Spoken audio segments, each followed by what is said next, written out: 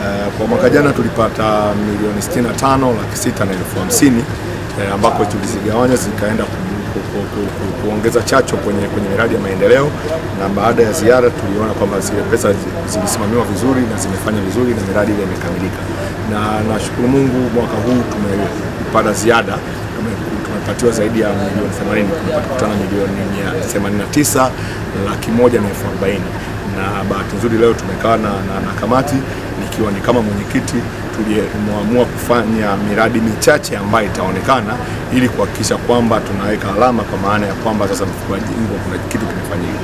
E, mradi wa kwanza tuliamua kwenda kuhakikisha kwamba kuna bweni ambayo lilijengwa zaidi ya miaka 15 iliyopita kwenye tarafa ya Ruaha ambako shule ile inahudumia vijiji mbali kutoka Isiaga, Buyu, kutoka Sali, wale watoto wa kike wanakuja kusoma Ruaha.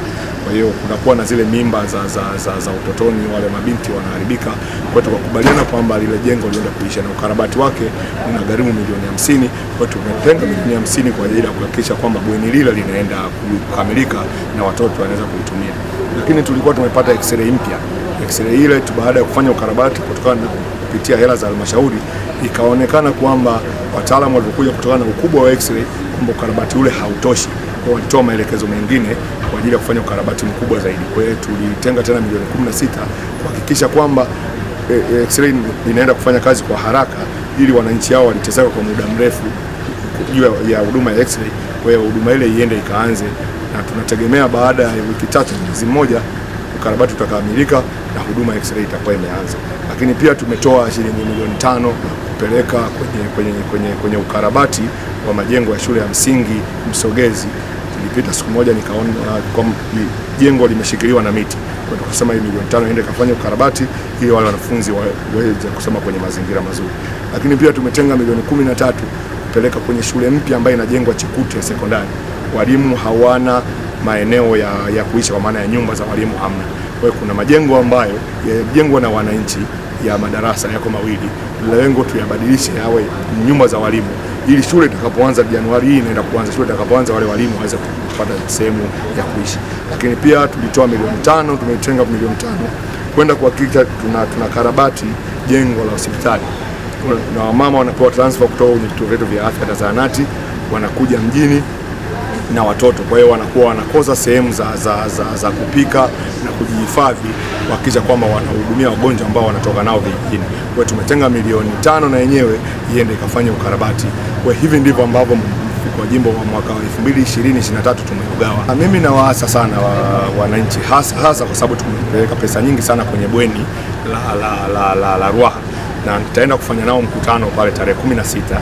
Tutaenda kuongea na wananchi, kwa sababu gharama ya kukarabati lile bweni na kulimalizia, maana sio kukarabati, gharama ya kumalizia, kwa sababu litaanza kujengwa, gharama yake ni zaidi ya milioni hamsini. Kwa hiyo tumeiweka milioni hamsini ili kuhakikisha nguvu ya wananchi na yenyewe inatumika, ili sasa na wengine waweze kupata hizo pesa zingine. Kwa hiyo nawaasa sana wananchi, hususan wana, wa, watu wa, wa kata wa tarafa ya, ya Ruaha tutakutana tarehe 16 tuambiane kwamba nguvu ya wananchi inahitajika kwa kiasi gani, lakini sio tu kwa, kwa, kwa, kwa tarafa ya Ruaha kwa maana ile kwenye kujenga lile bweni, lakini tunahakikisha kwamba hizi pesa ambazo tumezipeleka za miradi, tunahakikisha kwamba tunawahamasisha wananchi wajitolee ili iweze ili ile pesa iweze kufanya vizuri zaidi kuliko ambavyo tumekusudia. Mimi naitwa Deogratias Sengelimo, kaimu afisa mipango, pia kwa nafasi ya afisa mipango ni katibu wa mkoa jimbo. Uh, katika utaratibu wa utoaji wa fedha, kwanza tulikuwa tunahitaji tufanye kikao, kwa sababu kikao ndio ambacho kinaridhia matumizi ya hizo fedha. Kwa hiyo kwa sababu tayari tumekwisha kufanya hicho kikao, niahidi tu kwamba utekelezaji kwa maana ya kupeleka hizo fedha kwenye miradi unaenda kuanza mara moja. Kwa hiyo tunaamini kwamba hata utekelezaji pia ile miradi katika yale maeneo husika utaanza mara moja na itakamilika wakati. Kwa hizo pesa zinakwenda kwa jamii moja kwa moja. Kwa majina anaitwa Amiri Asmani Chunguni, mhandisi wa ujenzi wa halmashauri ya wilaya Ulanga. Katika awamu hii ya fedha za mfuko wa jimbo tumejipanga kwanza kufanya ufuatiliaji wa karibu sana.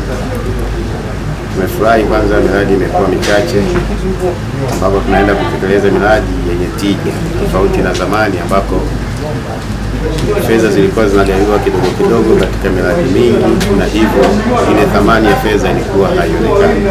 Lakini katika awamu hii kama nilivyoona, kuna miradi michache ambayo ukienda kukamilisha thamani ya fedha itaonekana, na hata ukimuuliza mwananchi mfuko wa jimbo umefanya nini, itaenda kuonyeshea kile ambacho tumekifanya. Kwa hiyo sisi kama ofisi ya, ya mhandisi tumejipanga kuhakikisha usimamizi wa hii miradi unafanyika kikamilifu ili kupata ubora na thamani ya fedha.